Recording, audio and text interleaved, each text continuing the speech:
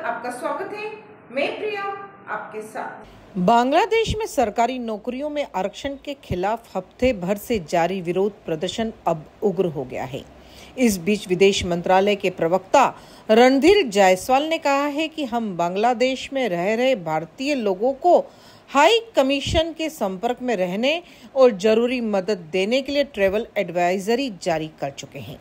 प्रवक्ता ने बताया कि विरोध प्रदर्शन के बीच बांग्लादेश में भारत के लगभग साढ़े आठ हज़ार स्टूडेंट्स और पंद्रह हज़ार भारतीय नागरिक रहते हैं। विदेश मंत्री खुद स्थिति की निगरानी कर रहे हैं। बांग्लादेश में हमारी हाई कमीशन स्थिति पर लगातार अपडेट भी जारी कर रहा है। बांग्लादेश में रहने वाले सभी भारतीय नागरिकों से संपर्क में रहने का अनुरोध कर रहे हैं। हम अपने नागरिकों को हर संभव मदद देने के लिए प्रतिबद्ध हैं। फ़िलहाल हमारे सभी नागरिक सुरक्षित हैं। बांग्लादेश में जारी हिंसा के बाद वहाँ से भारतीय लोगों का पलायन शुरू हो गया है।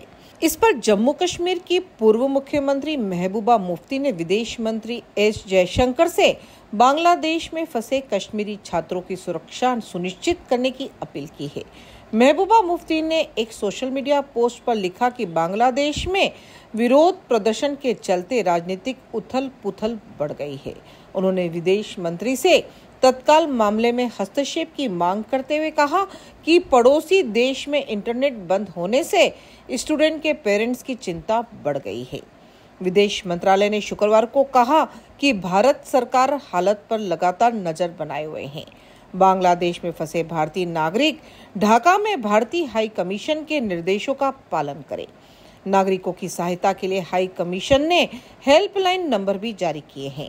प्रदर्शनों को देखते हुए भारत में बांग्लादेश हाई कमीशन की सुरक्षा बढ़ा दी गई है। इसी के साथ बने रहिए राजनामा टीवी के साथ। धन्यवाद।